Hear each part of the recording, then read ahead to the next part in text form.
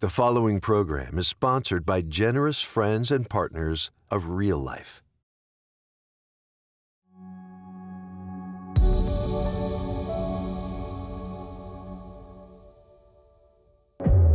Are you happy? Are you excited? Are you joyful? Do you have godly anticipation? If you don't have those things, it's because you're not doing what He created you to do. Hands down. Because when you're doing, when you find out what it is He wants you to do and you do it, the world can fall out from underneath you and you will be happy, you will be joyful, and you will be full. I can't imagine going through life without that assurance. Some say they know God, but today Jack Hibbs asks the question Are you sure God knows you? Fearful of becoming a victim of the cancel culture movement? Frustrated to feel you can't assert biblical truth without facing condemnation? When you want to speak up but aren't sure what to say? We Will Not Be Silenced, a book by Erwin Lutzer, unravels the complex threats faced by Christians in a society that has weaponized race, gender, sexuality, and more to divide individuals and undermine freedom. Order your copy now and gain a better understanding of non believers' legitimate hurts, concerns, and identify the toxic responses secular culture disguises as solutions. Learn how you can show compassion and gentleness to those outside of the faith without affirming their beliefs.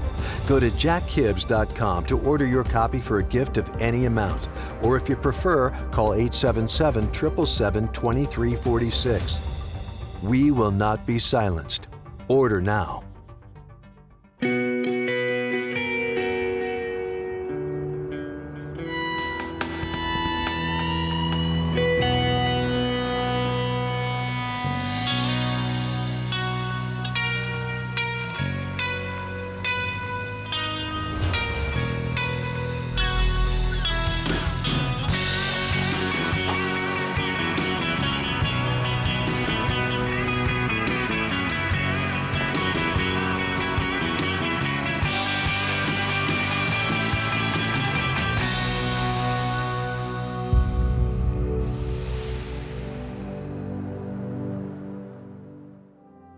Well, the question always comes up regarding who do you know, right? Who do you know? Do they know you? It's just part of human nature, it's part of who we are. Many times in life, and I have to say this is true certainly in spiritual context, is this. We say that we know God, but the question is does God know us? Does God know you? Many times in life, we will find out that it's not so much what you know, but it's who you know. Maybe that job has come up before you and, and you're excited about it and you're, and you're pursuing it, but you hear that it's gone to somebody else and that somebody else happened to know the owner or to know the boss and the boss knew them. I know it doesn't seem fair in life because we can always make ourselves more qualified for a position, but it is certainly true regarding spiritual matters. The fact is, regarding heaven, does God know you? It's not what you know in theological terms, it's who you know. And Jesus Christ said that He was the way, the truth, and the life. He's going to stress in our message today those definite articles that precede those attributes of who He is. He is the way, He is the truth, and He is the life. That means that there's no other way, that there's no other truth, that there's no other life that will get you and I into heaven. It's Jesus, it's Him alone. So, friends, as we get into this and as we consider God's path for you and I to enter eternity, remember this you may be a theologian, it doesn't matter to God. You may be religious, doesn't matter to Him. You may come from a long line of great preachers and teachers of the Bible, doesn't matter. It's not what you know, it's who you know. And the question is, does He know you? Does the God of the Bible know you personally? Because if He does, the Bible answers that dynamic by saying He knows His sheep, and His sheep know Him. Are you one of His own?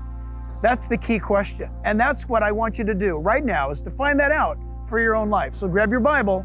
Here we go.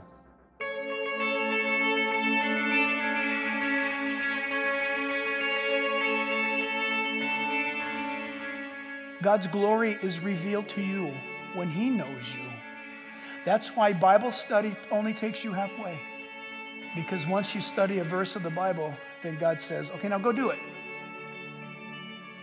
The Bible tells us, and I love this, the Bible tells us in Luke chapter 10, verse 18, and Jesus said to them, This is the disciples now, they're growing. It went from 12 to 70 of them. I saw Satan fall like lightning from heaven. That's a great thing. So, what are you saying that for, Jesus? Behold, I give you authority to trample on serpents and scorpions and over all the power of the enemy, and nothing shall by any means hurt you. um, this would have been a great theme verse for 2020. Nevertheless, do not rejoice in this, that the spirits or the demons are subject to you, but rather rejoice because your names are written in heaven. Can you imagine? Can you imagine? Jesus says, Now go and preach the gospel. Okay, here we go. And you preach the gospel, and communities are getting saved. Miracles are happening and demons are running away from you. And you go back to Jesus and you say, It works! It works! Your gospel works! Wow, that was amazing! We not only know you, but while we were away from you preaching and ministering, we discovered that you know us. And Jesus says, That's very, very cool, but listen, remember this best thing of all rejoice not in that, but in the fact that your names are written down in heaven. Amen. Your names. Is your name written down in heaven? Yes. Number three, make sure you're being faithful. We don't need to belabor this, just challenge you on this. Be faithful. He's coming for you, so make sure that you're being faithful. The word faithful means being reliable, to what God has called you to do. It means that He can trust you with what He's given you to do. This is beautifully liberating, friend. You, you, you, you, not the person next to you, you, specifically you. Think about it as, as unique as a snowflake is. You know, I believe people when they say that. I've never looked at a snowflake. I'm told every one of them's different. Okay, I haven't looked, so I'll, I'll go with the science on that if that's science. And the Hallmark card says you're as unique as a snowflake. okay, I, I know that's true. You are unique. Here's the thing God is saying to you, whoever you are, who you know me and I know you, be faithful to why I gave you life. See, when we're unfaithful, I don't mean this in any other way except gonna, uh, this is life. I, this is my life. I want to I wanna do this. I want to do that. I want to I wanna do my thing. It's not necessarily something, in fact, let me put it to you this way it's not necessarily something evil that they're saying. They don't know anything. They're, they're non Christians, they don't know. And they're trying, look, let's be honest, they're doing the best they can to make their life mean something, right? Why do people have uh, sexual exploits or uh, drug uh, induced events or uh, power grabbing. And, and, why do they do that? Because they're trying to find meaning. Don't be so mean to them because you used to be just like them. Have we forgotten that He's rescued us from this? We need to be gentle and kind and loving, and we need to reach out to them. Pray first and then reach out to them. The truth is, they're trying to get what you have, or they're trying to get what Jesus gives for free. They don't know that. So they're trying to figure out how do I f- fill this void in my life? They're not necessarily the spawn of Satan. They just may not know Jesus. And we can so focus down, oh, look at what you're doing, look what you're doing. Look, I've told you before, church, when, a, when somebody I don't know walks up and says, Hi, I'm a Christian, I, I'm in my mind, I go, Hey, nice to meet you. In my mind, I'm going, Oh boy, what do we got here? Because you don't know, I don't know. They have named a name. They put themselves in a category. Are they in pursuit of Christ? Are they in submission to His Word? If somebody comes up and says, Hey, I'm a full blown atheist, well, I can relax. Are you with me? I don't expect anything from them. If they say, hey, you know what, I'm a full blown atheist and I was thinking about going over there and, and doing this and doing that, and of course you were. That's what, that's what I used to do before I, I was a follower, right? You're going to be faithful to something or to someone. Jesus says, Be faithful to me. Be faithful to me. God has given each of you something to do in this life for his glory. You are to find out what it is. And when you find it, run with it. God made you for a purpose. Listen, don't, don't respond out loud. Are you happy? Are you excited? Are you joyful? Do you have godly anticipation? If you don't have those things, it's because you're not doing what He created you to do. Hands down. Because when you're doing, when you find out what it is He wants you to do and you do it, the world can fall out from underneath you and you will be happy, you will be joyful, and you will be full. I can't imagine going through life without that assurance. So find out what that is. In Matthew 6:33 the Bible says seek first the kingdom of God and his righteousness. So the kingdom of God, this is fun. It's two things. Number 1, seek first the kingdom. That's his politics. That's what it means. Seek first the politics of Jesus. What is that? He's king. King Jesus.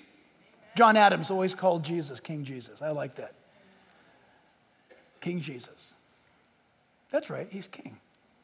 What do, listen, what when, when kings say things, you do them. Right? Isn't it great that the Bible reveals to us that Jesus is king? It doesn't reveal him in any, it doesn't reveal him as president or senator or Congress or prime minister, king. I like that. See, I like that because I like his politics. His politics is love. His politics is joy, peace, kindness, gentleness, self control. The fruit of the Spirit, that's his politics. And this is how we confirm that our faith is correct and that we are knowing him and that we're on the right path, is that we're ready for him. This is so important, yet so easily missed if we're on the right path and we believe what his word says and that he's coming back for us and we don't know when, it could be at any time. How do I maintain this to be ready for him? 2 Corinthians 13, 5 says, Examine yourselves to see or to determine whether you are in the faith. Test yourselves. Do you not know yourselves that Jesus Christ is in you? Isn't that awesome? It, uh, the word, listen, the word examine means this to uh, put yourself through the test. Watch, it's to put yourself through the test. The word means to challenge your authenticity. Um, if you've ever been, and if you've never been, I encourage you to go. It's absolutely amazing. Go to Bodie, California. You ever heard of Bodie? Yes. How many of you have been to Bodie? Raise your hands. Oh, wow. Well, those of you who haven't, you got to go. Bodie, California. Uh, Northern California, just east of the 395. It's, it's way up there. It's like 8,300 feet high, so dress warm. In that location, by the way, everything's still standing. Everything's still standing. There's even letters, and there's even at the assayer's office. This is my point. At the assayer's office, when you took your gold, you took it to the assayer's office and you put in they, the guides. It's all still there. You can read it. It's been there since like 1849, 1853 the guy brought in, like, uh, by the way, true. Um, I forget his first name, but Mr. Levi and Mr. Strauss. Yep, that's where they, that's where they lived. They moved from San Francisco to Bodie. Why? Because people at Bodie, working at Bodie, they, be, they were the richest people on earth at that time. Bodie was producing more millionaires per week than any other place ever in human history from mining gold. It was so prolific that they didn't have wheelbarrows, so some guy invented a wheelbarrow that would work a lot better than what the carts that they were using. Do you know what the guy's name was? Studebaker. Pants were wearing out because they were made of cotton. And so, two guys two Jewish guys moved from San Francisco, gave up their careers, and they went to go mine for gold. And this has nothing to do with the Bible study. they were mining for gold and they wore their pants out so fast that they went back to San Francisco and invented denim. And they're called Levi Strauss, Levi's today. Zippers wouldn't work right, so they did button ups. Levi Strauss. Then they kept breaking tools. They were finding so much gold, they were wearing out tools, pants and wheelbarrows. So some guy, listen, some guy talked to his friend about we need to we need to figure out how to build a new shovel, a different kind of shovel. And if we only had a thing like this, it would help a lot. What do you think, Mr. Roebuck? Well, I think we should do this, Mr. Sears. Bodie, California. Why did I bring that up? Someone help me. I have no idea.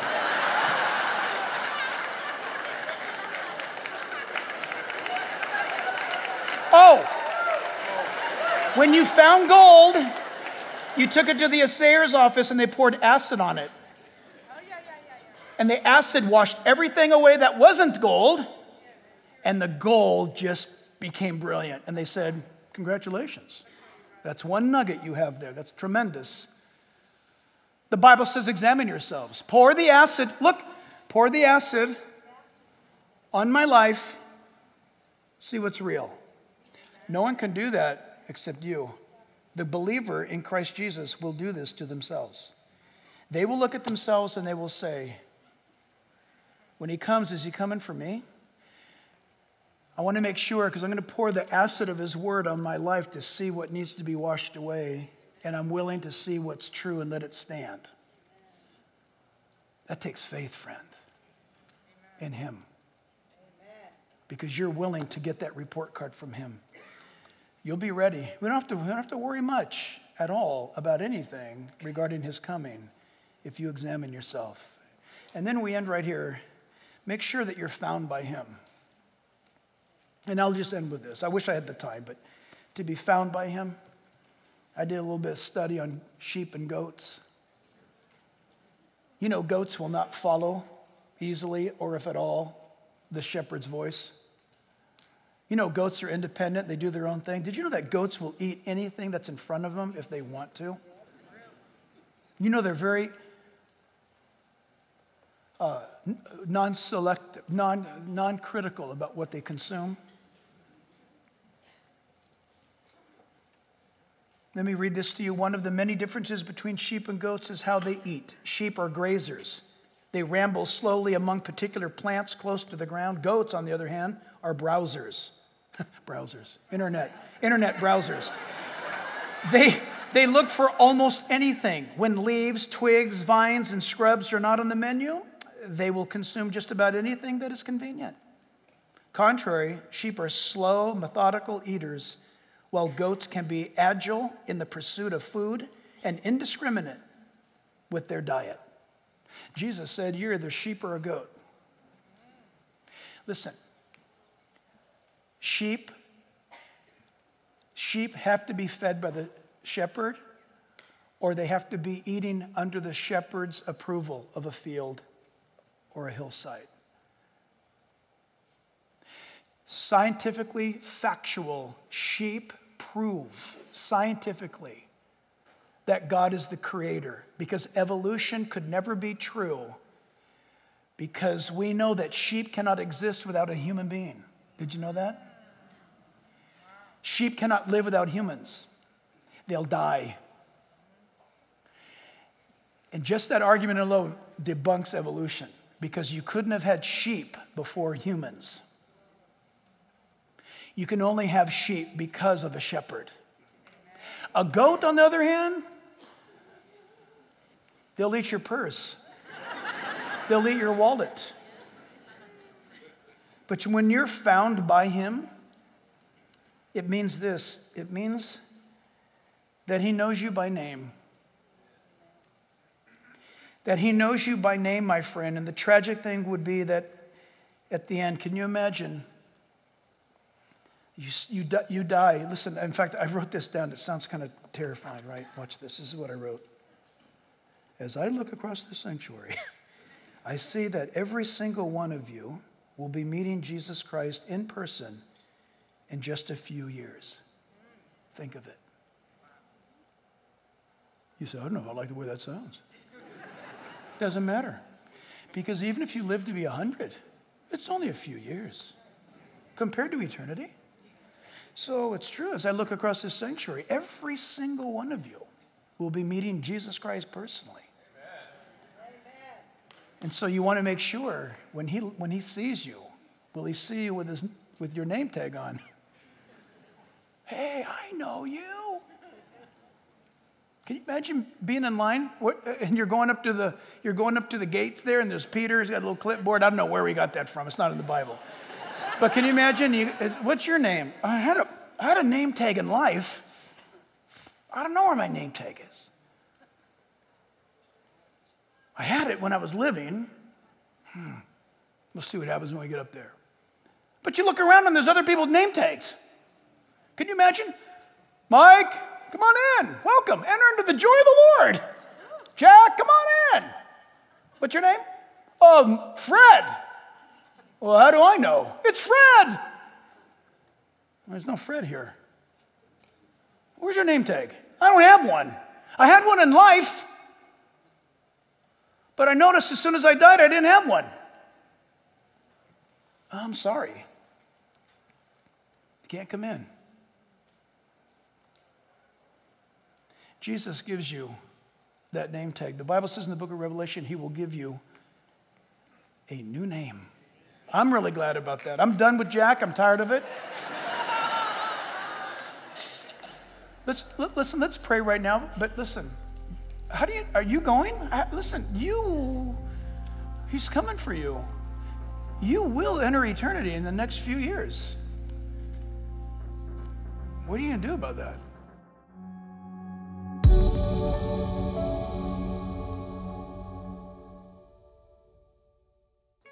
So listen, um, it's like you and I going into a room. Maybe we've been invited to a conference or some gala, and uh, we come on in and we've got a name tag. And uh, the host will look for you, and the host will see the name tag and respond to you. And, and that's pretty cool, right? But do you know what's better than that? Going to an amazing banquet, and you don't need a name tag because the host walks in and says, Jack, I've been waiting for you. Jack, come on. Welcome. And you think about what heaven is going to be like because the Bible tells us that the shepherd of our souls, that he's going to greet us. The Bible tells us in the book of Acts that when Stephen was being stoned to death in Jerusalem, that when he looked up, he saw Jesus standing at the right hand of God the Father to receive him. My dear friend, if Jesus knows you, He's going to receive you. Jesus said, My sheep hear my voice and they follow me. In this day and age of deception and all the false teaching that's going on in the world around us, what is your assurance? Your assurance is this Jesus said, My sheep hear my voice, and a stranger they will not follow. That's the assurance that you can have today as a believer. You don't have to wait until your moment of death to figure out if you're going to go to heaven or not. The Bible says these things have been written that you might know you have eternal life, the Word of God. And so the question is to you Do you know Jesus Christ personally? Do you recognize His voice? Are you following Him? Because listen, all those who are His, He knows them. The question is Do you know Him? Do you know the lover of your soul? Well, listen, I pray that you do. In fact, to know that and to know His voice is to know His Word. If you reach out and contact us at jackhibbs.com, we want to send you a Bible so that you can get started in your own walk with Jesus. And by reading the Bible, you'll recognize the voice of God. That's how He speaks. Fearful of becoming a victim of the cancel culture movement? Frustrated to feel you can't assert biblical truth without facing condemnation? When you want to speak up but aren't sure what to say? We Will Not Be Silenced, a book by Erwin Lutzer, unravels the complex threats faced by Christians in a society that has weaponized race, gender, sexuality, and more to divide individuals and undermine freedom. Order your copy now and gain a better understanding of non believers' legitimate hurts, concerns, and identify the toxic responses secular culture disguises as solutions. Learn how you can show compassion and gentleness to those outside of the faith without affirming their beliefs. Go to jackhibbs.com to order your copy for a gift of any amount, or if you prefer, call 877 777 2346. We will not be silenced. Order now.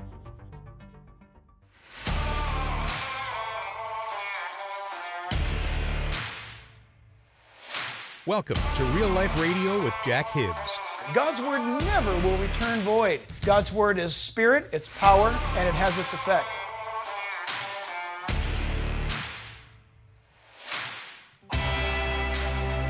So I want to encourage you to grab your Bibles, open them up, and get ready to learn from God's word.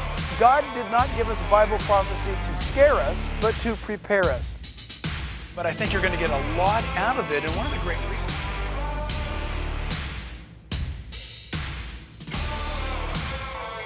You are the light of the world, Jesus said. You are the salt of the earth. How does that happen? By the power of the Holy Spirit. You're going to get excited about what Jesus Christ wants to do in and through you.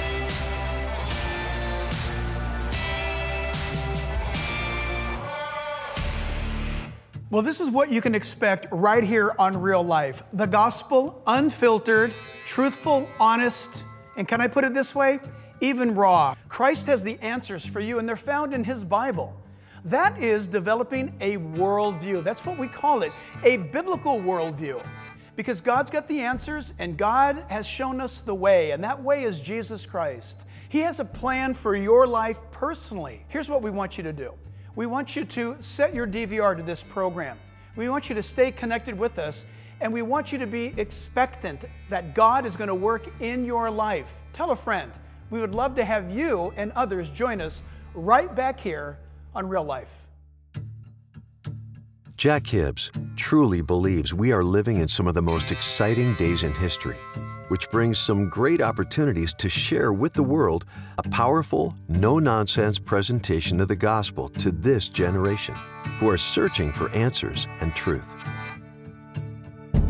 Will you stand with us in sharing this message in real and practical ways?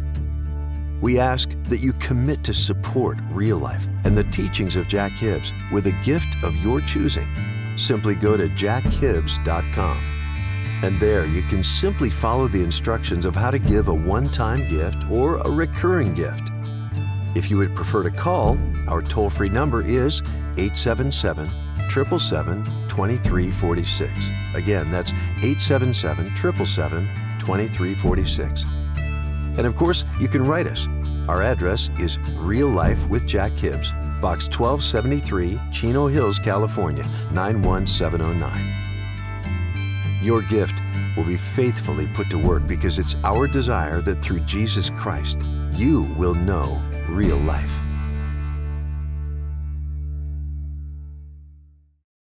The preceding program was sponsored by generous friends and partners of Real Life.